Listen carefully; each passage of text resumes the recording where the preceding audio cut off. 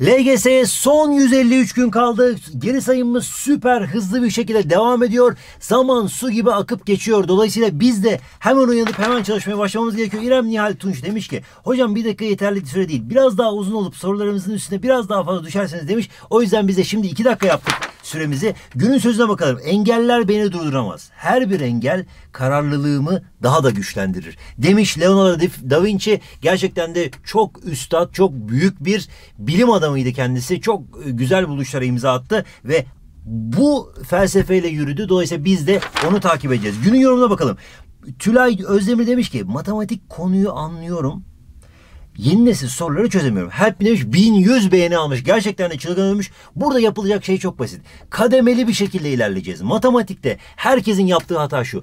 En zor soru bankasını alıyorsunuz. Yeni nesil soru bankasını alıyorsunuz. İşte bu en zor sorularmış. Hadi bakalım bir sınıftaki en zeki adam bunu yapıyor falan filan diyerekten sonrasında patlıyoruz. Hep beraber ailecek patlıyoruz. Ama biliyoruz ki yeni nesil sorularda aşamalı ilerlemek gerekiyor. O yüzden size şimdi bir sistem önereceğim ama şunu söyleyelim. MEB'in örnek soruları yavaş yavaş kolaylaşmaya başladı. O yüzden rica ediyorum karamsarlığa kapılmayın. Sadece matematik yüzünden LGS'nin hepsini bırakan arkadaşlara yuh olsun diyorum gerçekten de. O yüzden kendimizi çok dikkatli şekilde toparlamamız gerekiyor. Günün kaynağı ise seviyeli matematik modeli. İşte demin size söylediğim model bu. Yeni nesil matematik için geliştirilmiş bir model bu aslında. Birinci adımda giriş seviyesi yeni nesil matematik soruları. Ama giriş seviyesi olacak. Öyle çok zor olmayacak. Ondan sonra orta ve üst yeni nesil soruları çözeceğiz. Sonra zorlayan seviye artıran soruları çözeceğiz. Sonra konuları teker teker taramamız gerekiyor. Adım atlarsanız başarılı olamazsınız. Net bir şekilde söylüyorum buradan.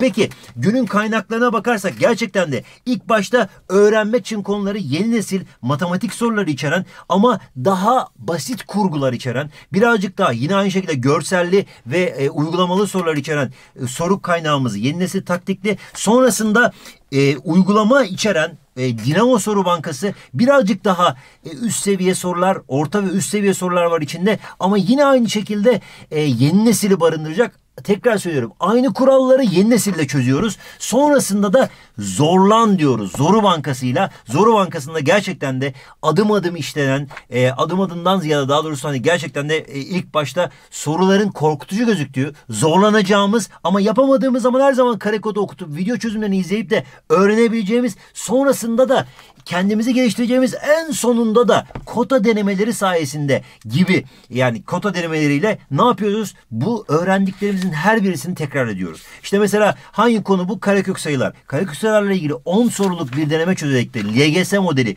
yatay dikey karması sorularla günlük hayat gerçek yaşam problemleri sorularıyla kendimizi test edip bütün konuları tarıyoruz. Bütün konularda taradıktan sonra eksiklerimizi görüyoruz.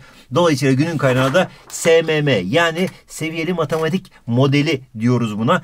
Günün kitabı Şeker Portakalı Jose Mauro de Vasconcelos e, kitabı. Gerçekten de çok ünlü bir Brezilyalı yazar ve bu e, kitabında da zorluklarla mücadele eden Zeze'nin öyküsünü anlatıyor ve gerçekten de kendi paragraf yorumlama yeteneğimizi geliştirecek bir kitabımız. Birazcık süremizi açtık. Çok özür dilerim. Ödüllü sorumuzu yapalım. Yorumlara yollayalım bakalım.